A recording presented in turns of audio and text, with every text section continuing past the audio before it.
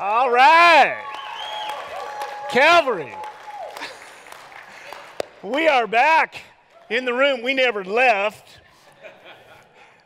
People all say, Oh, we get to go back to church. I go, Come on, man. We've been in church. We've been out on the lawn, baby, worshiping the Lord. The Spirit's been with us, and now we get to come back in here. Hey, do you like some of the uh, upgrades we made? We got some more screens and stuff like that. And uh, I was going to have a hydraulic jack underneath the stage with my pulpit, and I could just come up and. That's getting a little creepy and culty, but we'll talk about that later, all right? We'll talk about that later because we're talking about truth this morning. We're talking about a truth encounter, and man, you know what, what's the truth? And, and we're, in a, we're in an age of fake news, right? And fact checking and all that stuff. And as I was preparing my message this week, I was trying to think back kind of through my life. You know, what, what are some of the movies where people had truth encounters? And of course, I started with Star Wars, right? Poor Luke Skywalker. You're not my father. You know, that was that rocked his world, right? Darth Vader, his father. And then there was that movie with Tom Cruise and Jack Nicholson, A Few Good Men. If you remember that one, and Tom Cruise is this, this military lawyer, and Jack Nicholson is this colonel that probably got one of his men killed, and they're in the courtroom scene, and it's intense. And Jack Nicholson is on the stand, and Tom Cruise is, uh, is, is, is kind of asking him questions. Jack Nicholson says, What do you want? And what does Tom, Tom Cruise say? I want the truth. And what does Jack Nicholson say? You can't handle the truth. Check that out. Everybody knows it. Exactly. You can't handle the truth, right? Now, I've given you a couple of examples, but the ultimate example, I think, in the history of movie cinema, of a truth encounter, is in the epic drama slash comedy Elf with Will Ferrell. Will Ferrell, Will plays Buddy the Elf, and he's in New York City, and he's got a job helping out in the, in the Christmas department at a big old department store. And all of a sudden, the, the department store Santa comes in, and he's all excited Santa, Santa. And he gets up close to him, and he says, You're not Santa. You, Santa smells like candy canes. You smell like beef and cheese. You sit on a throne of lies, you know, and the, the whole deal, right? Truth encounter. Well, we're talking about that this morning. You know, most of us have experienced personally that moment of truth when, excuse me, I'm so excited, when somebody has, uh, has come clean with us or maybe when we've come clean with someone else, or we've shared a deep, dark secret and have never done that before, or where a truth that we always held close to us is then revealed to be false, and those things can kind of rock our worlds. You know, I was thinking as Jesus was standing before Pilate as he was being falsely accused. Pilate, being a Roman, philosophically asked the question to Jesus, What is truth? And ironically, the truth was standing right before him in the flesh. Jesus said in John 14, 6, I am the way, the truth, and the life. No one comes to the Father but through me. And so this morning, in our study through the book of Acts that we've called the movement, watching how the Holy Spirit came upon the apostles and how the church exploded, fulfilling the mission that Jesus had given them, we find a truth encounter today. A guy named Simon, who was a magician, perhaps a sorcerer, who had an encounter with one of the early leaders of the church, a man full of the Holy Spirit and faith named Philip. And it's pretty incredible. And it rocked this guy's world. And I think it's a reminder for all of us you know, what is the truth? How do we seek the truth?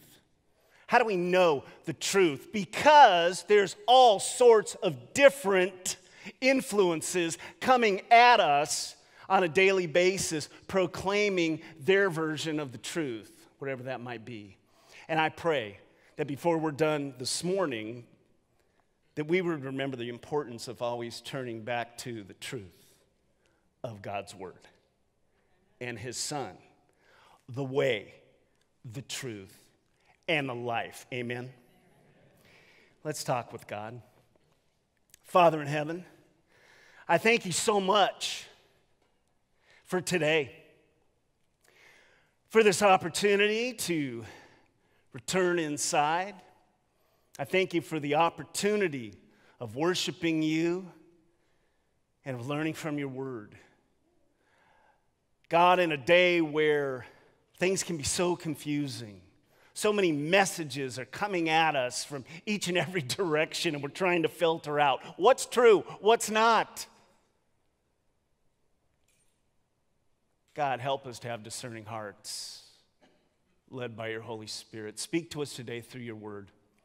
In your name, we pray. Everybody said, Amen. Amen. All right. Well, I think there's going to be some lessons that's going to be helpful to each one of us this morning through this truth encounter we're going to look at between Simon and Philip. And the first is this if you've got your notes, this is where we're filling it in. Beware, power without truth can be dangerous. Power without truth can be dangerous. Now, Stephen, as you remember last week, one of the first deacons of the church, and Philip was also a deacon, but Stephen was murdered. And because he was murdered, there were those early Jewish Christians that scattered out. And this was actually part of God's plan. And, and, and the gospel was taken to different regions. Jesus said, You're going to be my witnesses, first in Jerusalem, then Judea, then Samaria, then to the remotest parts of the world. And so a man named Philip went down to Samaria. And some weird things were happening in Samaria. Samaria was about 40 mile walk from Jerusalem. And this picks up our story in verse 9 of Acts chapter 8. And it says this But there was a man named Simon who had previously practiced magic in the city and amazed the people of Samaria, saying that he himself was somebody great. So we're introduced to, uh, to Simon, and he's in the main city of Samaria, and he is able to do magic, and the people were amazed by his power. Now, what kind of magic did he do? Well, I'm not sure he was doing magic tricks like you and I are familiar with. Um, yeah, I. Does anybody just like magic shows? Well, you're in church. Don't put your hand up. That might not be good. But anyway, yeah, I've always been kind of fascinated by magicians, and I, I kind of love watching those shows. I love the magic shows on TV where they tell you how the trick was done, right? I'm that guy. Like, I want to know how that happened. And I remember watching some of those shows, and, and there's the old trick where there's a woman in a box and she gets sawed in two. I remember in the past, I was just like, no way. No way. And then they showed how the trick was done, right? Spoiler alert if you haven't been watching TV for the last 50 years. Anyway, um, she's all crumpled up in one section of the box, and they got fake feet on the other side. And that's how the magician can, can saw her in two. And when I first thought of it, I was like, I knew it. I knew it. And then there's those tricks where people levitate. Have you ever seen that? And they've got a hula hoop, and the magician, you know, someone's, someone's sitting there like this, and then uh, they, uh, they got a hula hoop to show you that there's nothing around it, but, but, but you know there's got to be like a metal rod sticking back there, right? And then they show you how the trick's done. Spoiler alert. Okay. Yeah, there is a metal rod. There's no way they could just levitate. but it's with mirrors and with how you twirl the hula hoop and all that. And, and anyway, I've been just amazed by some of these magic tricks. And whether this guy, Simon, over 2,000 years ago, was doing magic tricks to amaze the Samaritans, it doesn't really tell us. But he wasn't a magician like, you know, Houdini or David Copperfield. No, uh, he, he was doing something else. And so look what it says in verses 10 and 11. All the people paid attention to Simon, from the least to the greatest, whether you were the, a poor shepherd or you were a successful businessman or maybe a political leader. He had everybody in the palm of his hands. You've got to realize Simon held great power because of his magic. And this is what they said about him this man is the power of God that is called great. And they paid attention to him because for a long time he had amazed them with his magic. Here's what I think was going on there he was giving them a truth of his power, and they were crediting it to a godly power. But you know what he was doing? I think he was a sorcerer. I think the source of Simon's power was from evil spirits, from the enemy, not the Savior. He was dabbling with the occult, and he amazed them. The Bible says this in the book of Deuteronomy about people at that time who would do such things. And it says this in Deuteronomy chapter 18, verses 10 to 12 There shall not be found among you anyone who burns his son or his daughter as an offering. That was dealing with some of the pagan nations and how they worship their idol gods. And then it goes on there shall not be found anyone among you who practices divination or tells fortunes or interprets omens or a sorcerer or a charmer or a medium or a necromancer or one who inquires of the dead. For whoever does these things is an abomination to the Lord.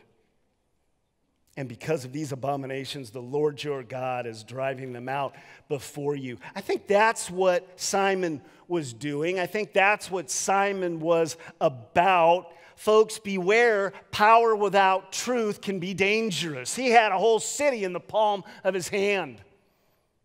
Now, we're not unfamiliar with power that isn't based in truth. Back in the 70s, and especially in this Northern California area, many of you are familiar with uh, the Reverend Jim Jones and the People's Temple. He had disregarded God's word, said it wasn't important. What was important is that people would look to him as their spiritual leader, look to him as their father, look to him as their God. He's quoted as saying that. He claimed that he had uh, superpowers to heal, and oftentimes he would deceive his people by having a little bag of uh, chicken organs. And he would have someone come up and lay down on the table, and it was all planned ahead of time. And he was put his hand on like he had the power to heal, and he would lift out these chicken organs, saying, I have the cancer, I have the disease and his people bought into it. But it just wasn't into back in the 70s. This happens even today. Some of you maybe have heard of uh, a guy by the name of um, Keith Raniere, who was the founder of a cult called NXIVM. He'd been working on it for about 20 years. He promoted it as a place where you can come for um, personal growth and self help. You can um, gain self awareness and become a more successful person. And as person after person after person bought into these lies, he became a person of manipulation. And eventually, here's what he would do to the women he would actually brand his name onto their bodies and force them into sexual slavery. He's in jail right now, awaiting his sentence this month. Power without truth can be dangerous, and it still happens today. I can think of examples like the power of the media, the power of Hollywood, the power of our politicians, and yes, the power of cults. Listen, folks, Scripture calls us as children of God to what? To be discerning of the spirits. The Bible tells us in 1 John 4 1, test the spirits to see if they are from God. The people in Samaria should have tested the spirits of Simon to see if he was truly from God, but they didn't do it and they were deceived. Folks, let me tell you something. Above the messages that our culture sends us, above the messages that our government or our politicians even send us, above some of the things that are taught contrary to God's word in our universities, above our media is what? Is the truth of God's word. Is the truth of God's word. This is what we filter everything by and through if you're a child of God. We don't worship God's word, we worship God and his son Jesus Christ. But God has spoken to us through his son and through his word. Amen? And that's why we filter our culture.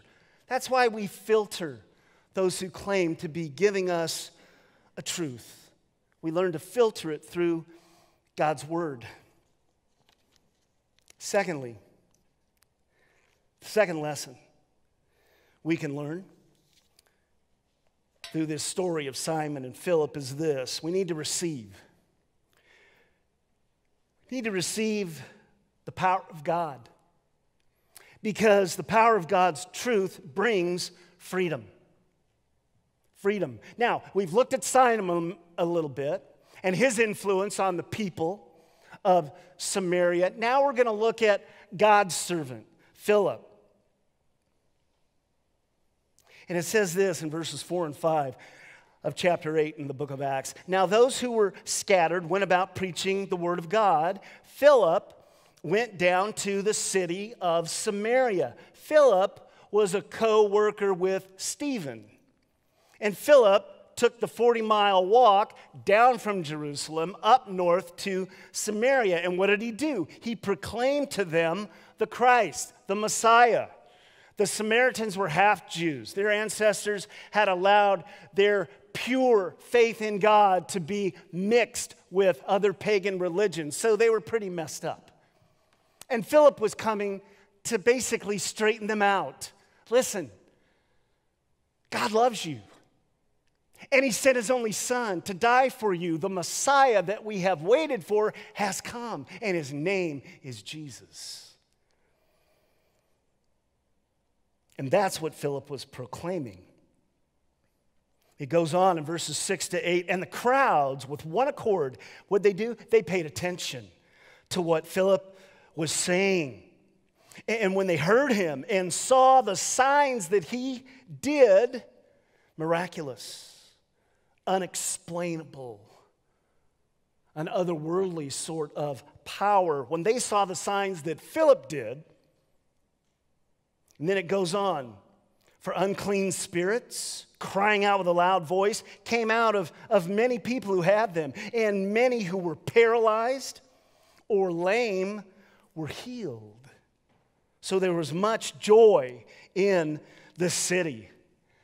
See, the, the Samaritans had been used to the false prophet Simon with his false power, and now God sends one of his servants, Philip, and Philip demonstrates the power of God, preaching Jesus. Demons are coming out of people. People who are paralyzed can walk again. People who are lame are healed and the people are seeing this power, these signs. And what did it say? You know, there, there was much joy in the city. Much joy. Listen, folks, I, you know, I've met so many Christians who are living like godless Samaritans. maybe enslaved to their culture or enslaved to immorality or practice dishonesty in their lives. Or maybe they have bitter hearts, won't forgive. Or they've turned to idolatry, you know, instead of, yeah, yeah, they go to church on Sundays, but the thing that's really got their heart is their bank account or their car or their boat or their homes or whatever it might be. It's a subtle form of idolatry. No. We need to receive the power of God's truth and live it. That's what brings freedom. Hmm. Kirsten Powers found this out. Uh, Kirsten Powers said this. She said, If you told me that I would believe in God, eight years ago, I would have laughed out loud in your face, especially if you were to tell me that I was going to be a Christian. She was beautiful, she was smart, but she was very prideful. She graduated from an esteemed college. She ended up working for six years um, in the Clinton administration in the White House. After that, she moved to New York and she became uh, a writer and commentator on the Democratic uh, Party and politics. She described herself and her friends as intellectual atheists. And then she met a guy. She met a guy. And this guy happened to be a Christian. And this guy was one of the first people who started to challenge her intellectualism and her doubt in God. And he invited her to church, and she went with him. And he was going to Redeemer Church in New York City, pastored by Tim Keller. Maybe you've heard of him. And as she sat there, she started to listen to what this man was saying. And his whole mission is to take single, very highly educated, cynical people in New York and share with them the love of God. New York's one of the hardest soils to grow a church in the country, that in Seattle. Tim Keller, he's probably one of the most popularly read Christian authors today. He has cancer. You might want to pray for him. But his church is 7,000 people in the heart of New York. Then something tragic happened. Her and her boyfriend broke up. Oh no. But you know what? Kirsten kept going to church. she gave her life to Jesus. She started growing in her faith. And she said this It's completely true. It was like a veil was lifted from my eyes, and I could see the truth of God's love for me, she writes. The world looks so different to me now. I was free for the first time, and I felt indescribable joy. Isn't that cool? Not a big celebrity, not a household name, just this girl named Kirsten who had a truth encounter with God and it brought her freedom. Jesus said in the book of John, chapter 8, verses 31 and 32, he said to the Jews who had believed in him, You abide in my word you're truly my disciples, and you will know the truth, and the truth will set you free. Who's the truth? Jesus Christ. Knowing Jesus and what he did for us, who he was, intellectually, step one. Getting into our heart, step two. Living it and acting it, step three. That's living in the truth.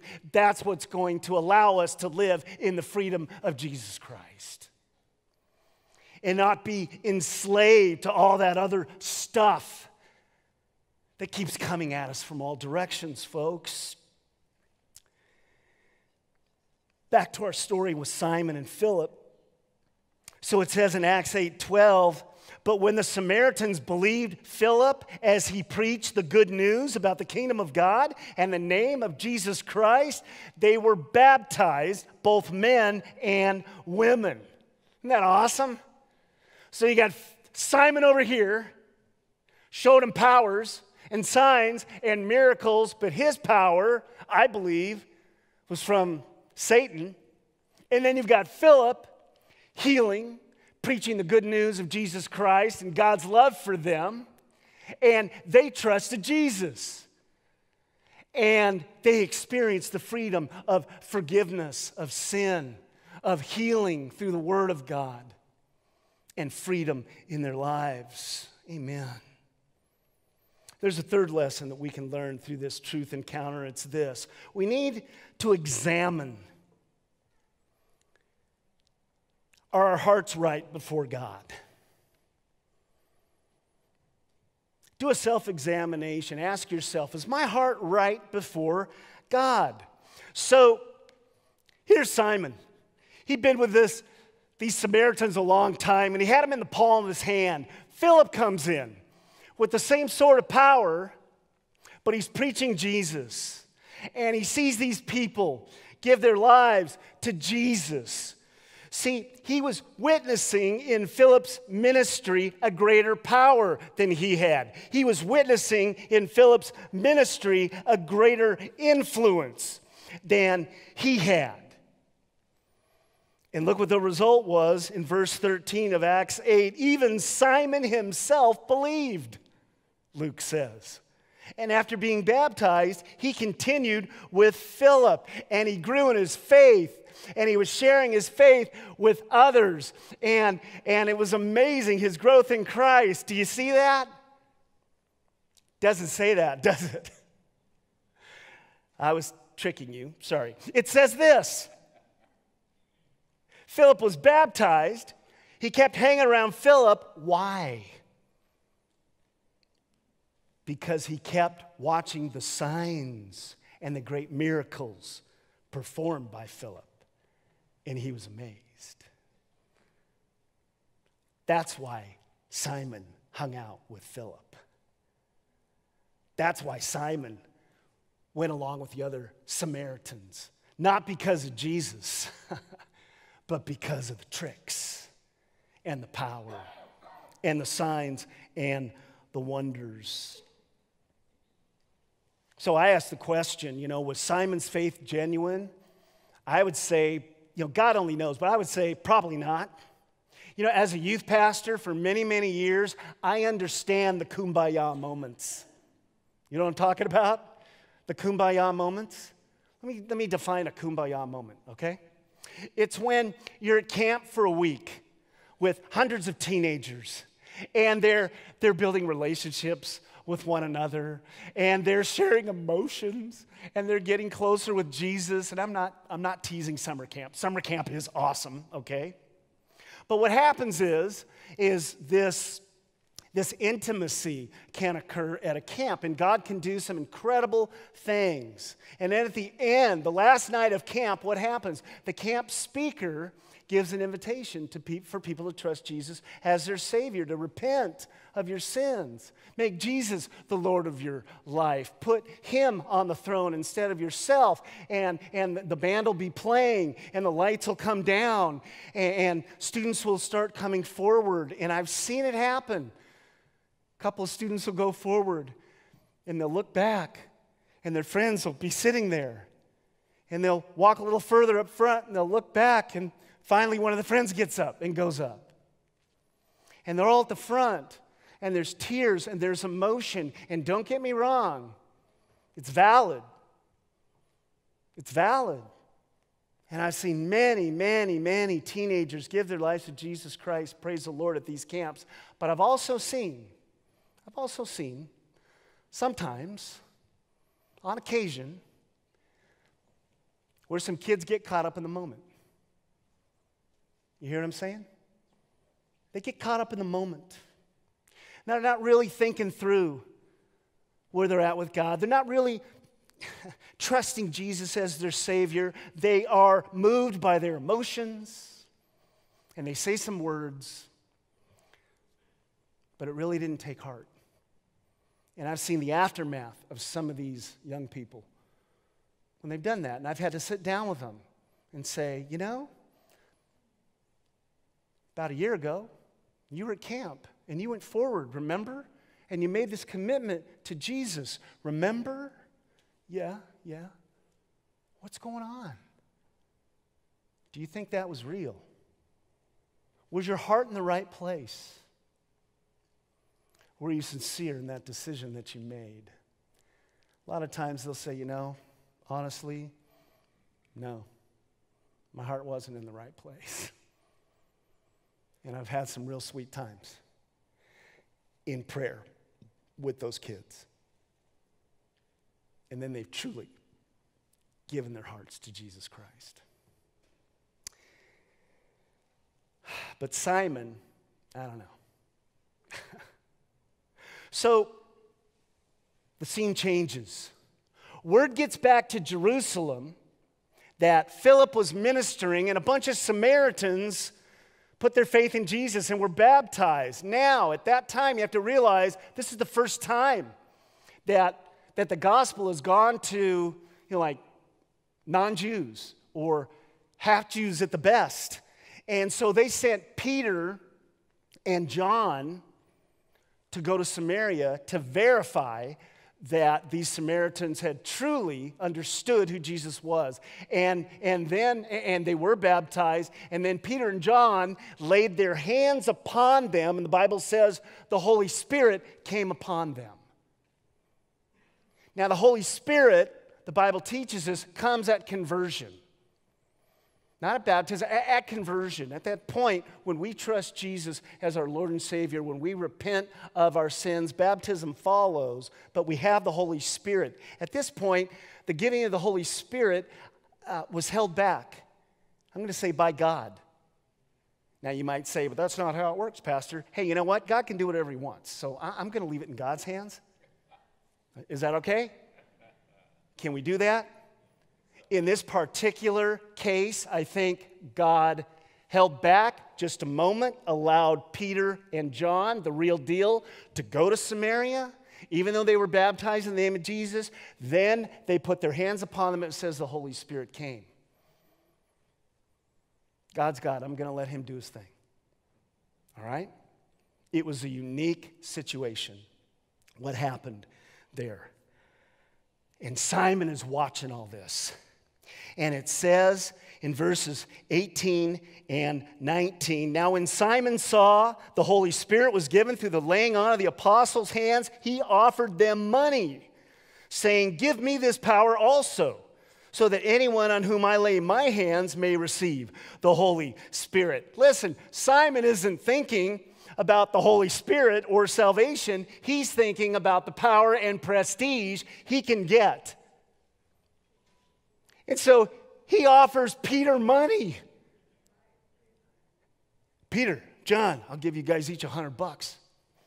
If you give me the power, and then I can lay my hands and they'll get, they'll get the Holy Spirit. Wrong thing to say. Check out verses 20 to 23. But Peter said to him, May your silver perish with you because you thought you could obtain the gift of God with money. May your silver perish with you. Let me translate that. I pray you're not offended. You and your money can go to hell. That's what Peter's saying to him. That is basically what he is saying to him. Seriously, Simon? You think you can buy the power of God? Oh, the wickedness in your heart. Peter goes on in verse 21 You have neither part nor lot in this matter, for your heart is not right before God. Underline it. Bam. Your heart is not right before God. Repent, therefore, of this wickedness of yours and pray to the Lord that, if possible, the intent of your heart may be forgiven you. For I see that you are in the gall of bitterness and in, in the bond of iniquity. Wow. I think from Peter's perspective, Simon's conversion was not genuine at that time. He tells him, Man, you better get right with God now, repent. And hopefully, God will forgive you. Whew. And look at Simon's response.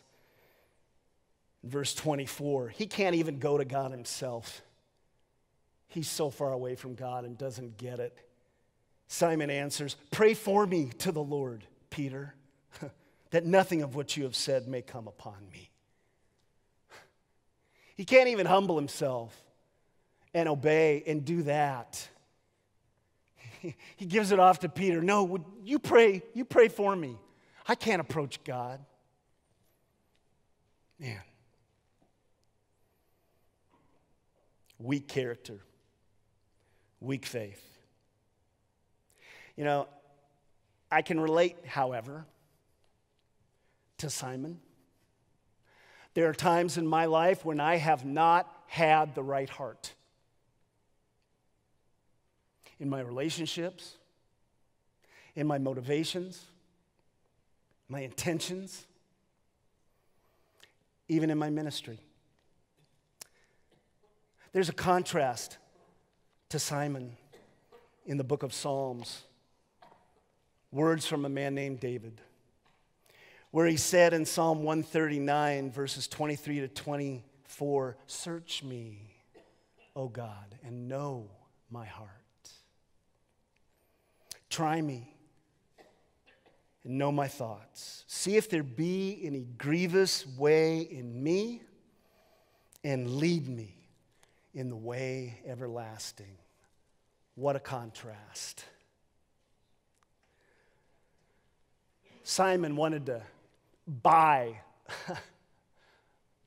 the Holy Spirit from Peter so that he might have the prestige and power demonstrated by a true follower of Jesus. His heart wasn't in the right place, he was messed up, he was confused. Caught in his own sin and wickedness and selfishness and pride. And then you have someone like David who, you know, up and down, and yet he's able to, to get on his knees intimately and, and, and pray to his heavenly Father Search me, O God. Know my anxious thoughts. Search me. Penetrate deep inside. See if there be anything in me that is not of you, and let's get rid of it, God. That was David's heart. That's the heart I want to have.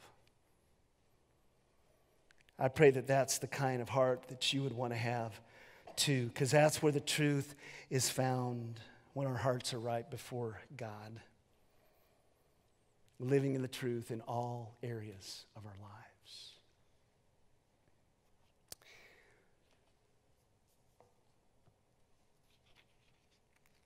I pray that your takeaway is, you know, not all those who claim to have the truth do but we do. By the grace and glory of God, we have His Word. And we can filter all things that come our way through the truth of God's Word, based in the truth of God the Father, God the Son, and God the Holy Spirit. Amen.